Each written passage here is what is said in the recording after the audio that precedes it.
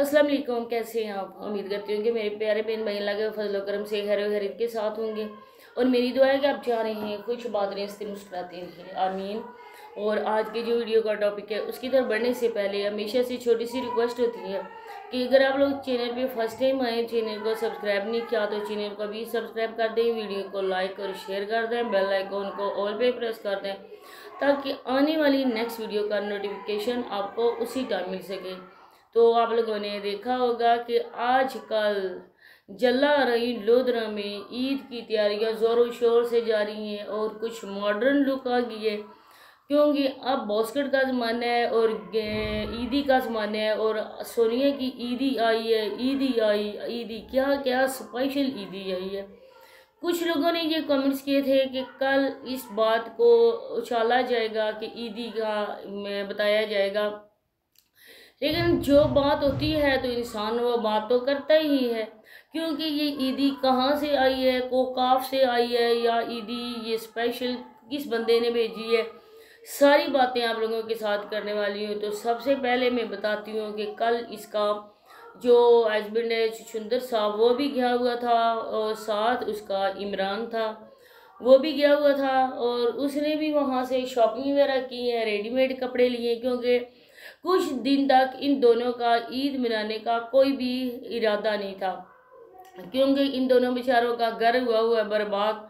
एक अपनी माँ के घर बैठी हुई है, दूसरा अपने घर बैठा हुआ है। उसी के सोफे पर उसी के बेड पर एक दिन वो ताना देती है कि मेरे बेड पे ना बैठो, मेरे दिए हुए पैसों वाले घर में तुम बैठे हुए हो, शर्म करो। एक दूसरे पे कीचड़ क्या उछाला जाता है, बल्कि ट्रक गटर वाला ट्रक, जो कचरा होता है ना, वो एक दूसरे पर फेंका जाता है। कोई भी कसर नहीं रह जाती निकाली जाती है। जो भी एक तरफ़ से रह जाती है, वो दूसरा बंदा, दूसरा फ्रीक निकाल देता है। और अपनी तरबियत बहुत ही अच्छी तरीके से शो कर देते हैं। और हमें जो वॉइस वो मैसेज मिला है ना रिकॉर्डिंग मिली है ना, कुछ बहन भाइयों ने बहुत ही ज़्यादा ये कमेंट्स आए और मुझे इंस्टा पे मैसेज भी आ रहे थे।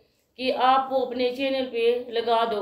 तो मैं यहाँ पे ये कहना चाहूँगी कि कोई भी इज़्ज़तदार लड़की, बिल्कुल भी ऐसी घटिया तरीन, जो उसकी वॉइस रिकॉर्डिंग है और घटिया तरीन बातें, घटिया से भी घटिया तरीन बातें, वो इज़्ज़तदार औरत अपने चैनल पे हर किस नहीं डाल सकती। मैं तो अपने चैनल पे हर किस नहीं डालूँगी।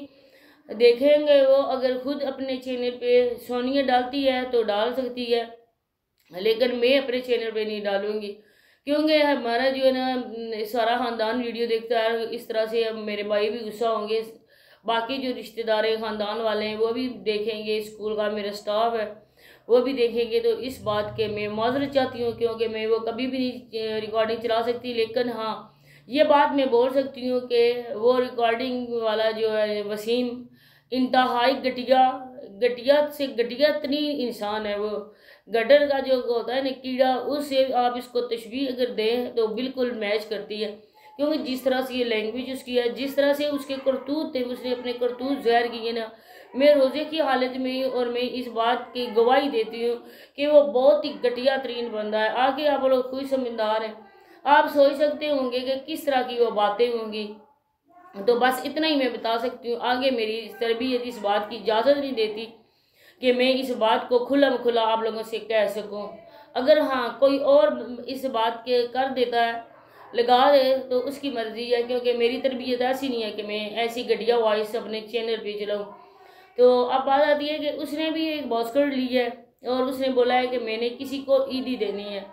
तो किसको उसने ईदी देनी है? हो सकता है कि नेक्स्ट वीडियो में आ जाए, लेकिन सेम ऐसी ही बॉस्कट सोनिया को मसूल हुई है और मैं आपको बताऊँ कि जो ईदी होती है ना, हम किसी को टीसीएस करते हैं, उस पर बाकायदा एड्रेस लिखा होता है। जो उसके शॉपर आया था ना, और उस पर एक एड्रेस लिखा हुआ हो, होता। वो सोनिया चाहे सामने अपने, उस आंटी का तो नहीं लिखा हुआ था ना। लेकिन इन लोगों के घर का लिखा हुआ था, कितने ही बोरे आए यूके से, और इन्होंने सारा कुछ दिखाया था, और इनके जो घर वाले थे, उनकी जो एक्साइटमेंट थी, जिस तरह से वो देख रहे थे लचाई हुई नज़रों से एक एक चीज़ को देखते थे, जिस तरह से बोरे आते थे, वो भी आप लोगों के सामने इसके चैनल पे अभी वो वीडियोस पड़ी होंगी। और इसके बाद अब जो ईदी आई है, ईदी को लेकर न ही कोई ऊपर एड्रेस लिखा हुआ था और मैं आपको बताऊँ कि इसके कल अबू किधर थे? अबू तो घर में ही नहीं थे। दूसरी बात के भाई लेने के लिए गया हुआ था और वह बेचारा इतना होता, इतना अक्लमंद होता तो साबरा उसके भाग के जाती। साबरा को वो हाथों से जाने देता। तो समझा करें सारी बात, जो लोग इसकी वीडियो में जाकर इनको कमेंट्स करते हैं। बहुत ही अच्छा उसने किया आंटी ने। अल्लाह पाक उसकी आंटी को बहुत ही ज़्यादा दे जिसने तुम्हारा रखा। तो कोई आंटी वांटी कोई नहीं है। न ही किसी आंटी ने भेजा है न ही कुछ हुआ है। या तो इसको, उसी ने भेजा है जो बास्कर ले रहा था। एक तो वो शायद ले रहा हो इसको दिखाने, जलाने के लिए। दूसरा ये उसको दिखाने और जलाने के लिए ले रही थी। मुझे आप बताएँ कि ये बच्चों वाला घर है। और जिस तरह आप लोगों ने देखा, सतारा यासीन ने सबको ईदी बचवाई है और उसने चूड़ियाँ भी चॉकलेट भी, हर चीज़ उसने रखी है और उसने बाकायदा से एड्रेस लिखा, ईद कार्ड लिखा, सारा कुछ दिया तो ये बेचारे अनाड़ी हैं वीडियोस को देख देख कर इन लोगों को समझ आई है कि इस तरह से बास्केट पैक होती है गिफ्ट पैक बनता है, किसी को ईदी बेची जाती है। अगर कोई भी, बिल फ़र्ज़ में यहाँ पे फॉर एग्जांपल अपनी देती हूँ मिसाल के मैं अगर भेजूँ तो लाजमी बात है कि उनके घर में बच्चे और बच्चों वाला जो शख्स माँ होती है ना, वो अपने बच्चों के लिए जो चीज़ लेती है ना तो उसका दिल में यही होती है कि वो बिन माँ के बच्चे हैं। माँ के होते हुए वो यतीम है बेचारे। तो उनके लिए भी कोई ना कोई चीज़ भेजें। आप लोगों ने मुजम्मल को देखा होगा कि जिस तरह मुजम्मल खड़ा था और ललचाई हुई नज़रों से, मासूमाना अंदाज से वो उन चीज़ों को देख रहा था। अगर किसी आंटी ने भिजवाई है तो शर्म उनको भी आनी चाहिए कि आप आज इस तरह के करके इन लोगों को आप लोग मुकम्मल तौर पर मंगता बना चुकी हो, क्योंकि वो हाथ उठाकर दूसरों से भीख मांगने वाला। तो आप इनके लिए अगर भेज देते तो आपको कोई कमी तो नहीं आ जानी थी, लेकिन उस आंटी ने भिजवाई हो तो ये कोई खलाई आंटी है। जिस तरह से इसके घर में खलाई मखलूक आई थी कतर वाली मखलूक आई थी, इसके बाद इन लोगों के घर में आए दिन झगड़े शुरू हो गए और बात यहाँ तक आज गई है, पहुँच गई है। लेकिन आप लोगों ने देखना है कि ईद के बाद ऊँट किस करवट बैठता है, ये भी मुझे बात महसूस पता लग चुकी है। और ये भी बातें किसी ने मुझे बताई हैं, क्या बताई हैं इन वक्त आने पर वो मैं लगाऊँगी और विद प्रूफ लगाऊँगी कि मेरे पास क्या क्या सबूत आए हुए और क्या क्या बातें आई हुई हैं। कबल है इस वक्त, अक्लमंदी का तकाजा नहीं है कि ऐसी बंदे, बातें जो है वो शेयर करे और लगाए। इन वक्त आने पर आप लोग देखना कि अगर इन लोगों का आपस में हो गया राजीनामा वगैरह सुलह होगी या कुछ हुआ तो इसके बाद मैं लगाऊँगी। तो मैं बताऊँगी कि ये लोग कितने बड़े झूठे हैं और किस हद तक ये जा सकते हैं और किस हद तक ये गिर सकते हैं, क्योंकि ये इन लोगों की तो की जा सकती है। इन लोगों की जो करतूत हैं, जो ये लोगों की बातें वो आप लोगों के सामने फिर है कि उसने बच्चों के लिए कुछ नहीं भिजवाया। एक सोनिया का पहले अपने शूज़ दिखा रही थी वो अभी बास्केट खोली नहीं है और उसमें से शूज़ का पैकेट निकला है।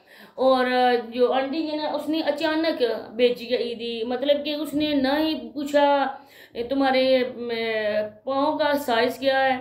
और उसने तो सिर्फ़ पूछा है कि ये भी उसने बस बता दिया कि चलो जी, मैं बता देती हूँ, कोई शक न करेगी उसने मुझसे पूछा था कि सूट का क्या है, तुम्हारा साइज़ क्या तो मैंने उनको बता दिया था, लेकिन ये नहीं सोनिया ने बताया कि उन्होंने पूछा था कि तुम्हारे पैर का साइज़ कितना है, तुम्हारी शूज़ का, चप्पल का साइज़ कितना है, वो भी तुम भेज सकते थे। पूछ सकती थी, लेकिन उन्होंने ये नहीं पूछा और एंड में आप लोगों ने नोट किया होगा कि सोनिया ने बताया कि लाइबा और समाविया, आप लोग परेशान ना हो, मैं आप लोगों की भी इसी तरह की शॉपिंग करूँगी, जिस तरह मैंने अपनी की है। मतलब इस बात का है कि सोनिया ने ये सारा प्रोपगंडा बनाया ये बहन आई हुई थी, इसके घर नजमा आई हुई थी, शायद नजमा वगैरह ने किसी ने दिया इसको ही दी और इसने बना दिया अपनी आंटी को, वसीम को जलाने के लिए या वसीम की तरफ़ से आई है। हम लोग श्योर नहीं कह सकते क्योंकि इस बात का हम लोगों को पता नहीं है, लेकिन बहुत ही घटिया तरीन हरकत है। इसकी और इसकी जो बहन थी, उसने तो कोई ये बात भी नहीं की। अपनी एक वीडियो में भी नजमा ने बोला कि मेरी बेटी आई हुई है। आप लोगों को शर्म आनी चाहिए, देखो, आप लोग अपने मसलों में पड़े हुए हो, बच्चा देखो, उसकी ना कटिंग हुई हुई है, ना ही उसको नलाया गया है, ना ही कोई अच्छे कपड़े उसके होते हैं। कल परसों मैंने वीडियो में देखा कि मुजम्मल दौड़ कर इतनी दूर गंद में जा रहा था, उसको देखने वाला भी कोई नहीं था। उसकी माँ अपनी, देखो, हर दिन, आए दिन क्या क्या करतूत करती है, उस बच्ची को लेकर, मेरा बच्चा, मेरा जान, मेरा दिल तो शर्म आनी चाहिए। जिस तरह से तुमने जवान होती बेटियों को इस तरह से फेंक दिया, छोड़ दिया, इस तरह तो कोई जानवर भी अपने बच्चों को नहीं फेंकता। है तो इन लोगों का भी हक था कि बच्चों के लिए भी, जिस तरह बेचारे उन लोगों को क्या, उनके तो फरिश्तों का भी शायद पता नहीं होगा कि अंदर क्या प्लानिंग हो रही है और हमारी फूफी किस तरह से प्लानिंग कर रही है। तो कुछ लोगों ने ये भी मुझे मैसेज किए हैं कि सिस्टर ये उसी बंदे के आए होंगे। जिस बंदे से सोनिया मिलने के लिए गई होगी तो मैंने बोला था कि मैंने ऐसे किसी पर यकीन नहीं करना है। न ही मैं